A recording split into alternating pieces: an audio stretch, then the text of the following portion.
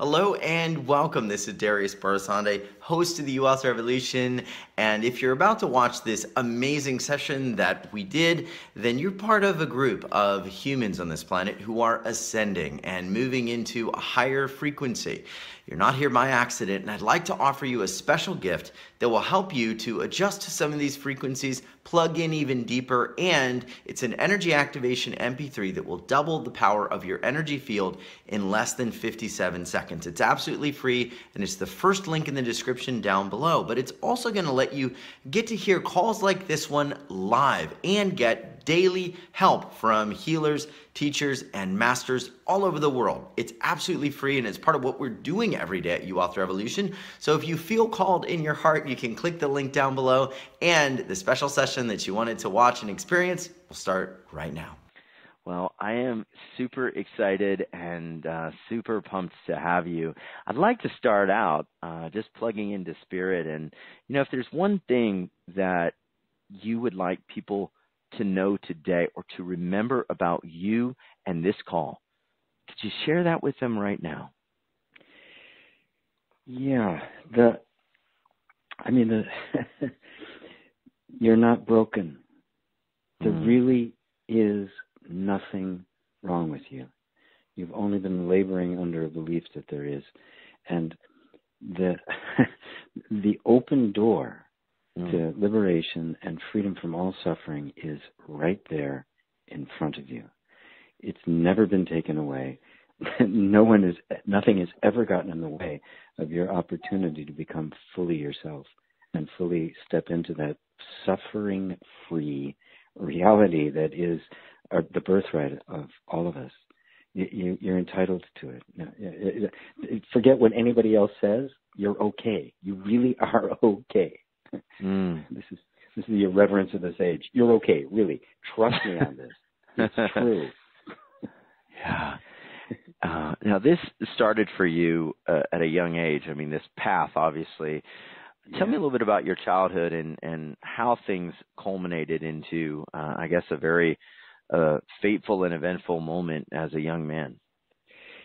Well, yeah, it's you know, as you you mentioned, my earliest mem- my memory is, I mean, I would I, that memory is actually me hanging upside down on the side of the crib because I just mm. slammed my head on the side of the crib because she tied my mother tied my leg into the bed, and this continued. This was like this was not like a one time thing for the next four or five years, um, and I would get punished for uh, for you know wetting the bed and stuff um, it, it was it was just kind of the nature of the house. My mother was mentally ill, and it kind of mm. hung over everything like a pall, right? So you know, my father just couldn't handle it. He was gone. So it was just like this very tense, loveless, um, difficult. You know, you you just never know who is going to show up. That that uh, you know, the day you know she'd check out. I mean, I I almost killed myself several times. I mean, accidentally, you know, electrocution and stuff because there was just nobody around um, oh. And but so and it, just got uh, more and more tense. And by the time I was 12 years old, I was basically on the street every night. I was out gone all the time. You know, I was basically 12 year old juvenile delinquent, mm. you know, running from the cops and stuff. And uh, you know, had it not been for the fact that I fell in love with music, I'm I'm pretty sure I would have ended up in jail. Um, but I had a talent for music, and I and, and I, I saw the Beatles on Ed Sullivan, and uh, I was sold and uh, so I invested all of my uh, my energy into uh, in, into that. Um, but this was rock and roll, right? this was, you know, I wasn't playing Sousa marches or something, right? Uh, this was rock and roll and everything mm. that went with it.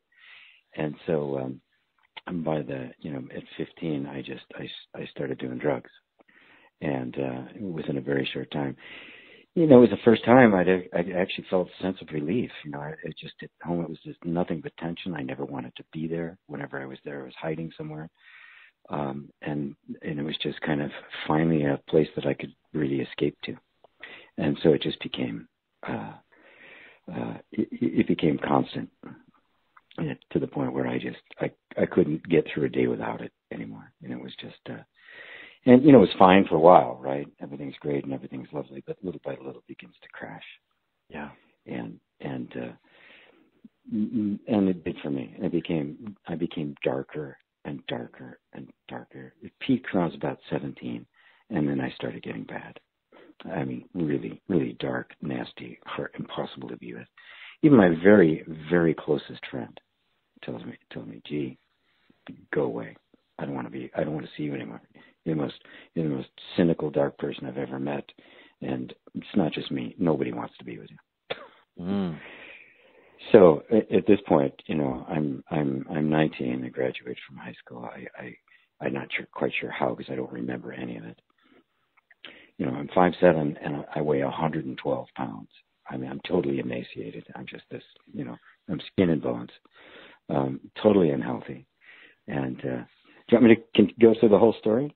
Oh yes, all, yes, all, all the way up to the all the way up to the end. Yeah, okay.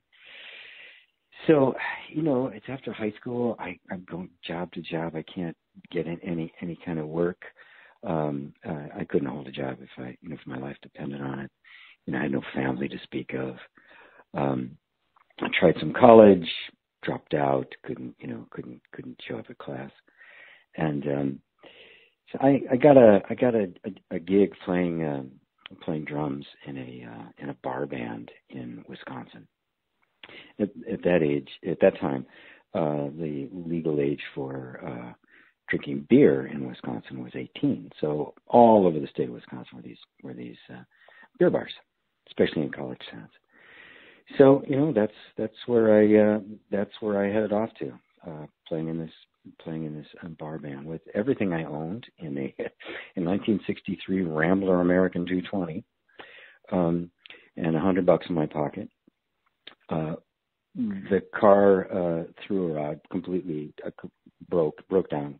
Uh, cost me 85 bucks to have it towed off the highway. So there I was with everything I owned and 15 bucks. they were nice enough to not send the car to the junkyard and let me sleep in it for a couple of days while the uh, while the uh, the other guys came down to get me they they took pity on me at the local diner and started giving me some giving me some some food and the like. And so you know, eventually they came down and got me, and so I'm living in this in this house with the other two members of the band. I'm sleeping on the floor in the living room because I was the last one to get there. There are only two rooms, and uh that was my life. This was the glorious, glamorous rock star life, right? And so life was simply nothing more than you know you get stoned and uh, you know you play you you get stoned. You get play you play you get high. You play you get stoned. You play you get high. That was life. Now as as i mentioned before i i just gotten um i i was dark. I mean i was just so cynical. I was at the end of my wits. I knew i was going nowhere. I knew that this path was totally empty. It was dark. You know the the end result was like uh, you know, checking out. That was it. There was because there was no way out. I could not find a way out. Mm. I, I I knew that it was like, uh, you know, I mean, I knew it. It, it couldn't continue this way, but I I couldn't find any any any outlet, any door, and um. So it finally came to a head one night, you know, and um it was a normal night. You know, we did our music thing, and then I was sitting around with a bunch of people, getting high, getting totally wasted, as we did, as as I did every night. Um, but this particular night was different. And uh, as I was sitting there, um, high as a kite, I was suddenly uh, seized with this terror, and I, I can't even begin to describe it to you. It was like nothing I'd ever felt before. It just completely overwhelmed me, and my and my whole body went paralyzed. I couldn't move. The only thing I could move was my eyes. Mm. It literally would obey, obey no commands. Uh, commands. I couldn't even feel it. My heart was just pounding in my chest. My head was pounding. I was I was wheezing because my throat had had tightened up so much. I, I couldn't tell if I'd messed my pants. I mean, I, I, I mean, I, I completely lost control. And I sat there for a while in this condition, just, I said, this is it. Oh, this is it. I'm dying. Oh, great. Finally. I was just like so relieved because I, you know, I didn't have the courage to do it myself. And I sat there for a while, and everything's distorted. I mean, it was just, it was, it, it was horrible. I, I would not wish it on anybody. But suddenly, something rather uh, extraordinary happened. Without any input, input, in, input from me, without any kind of anything. My body got up, walked out the door, and just started to walk. Mm. I had no control over it. I mean, it was totally on autopilot, and I had no idea what it was what it was doing. And it walked for about 30 or 45 minutes. It was turning corners. It was walking uh, just completely on its own. And then suddenly it stopped. It turned right, and I was standing on a bridge, looking down into one of the most disgusting, polluted rivers you can ever imagine. And I just sat there.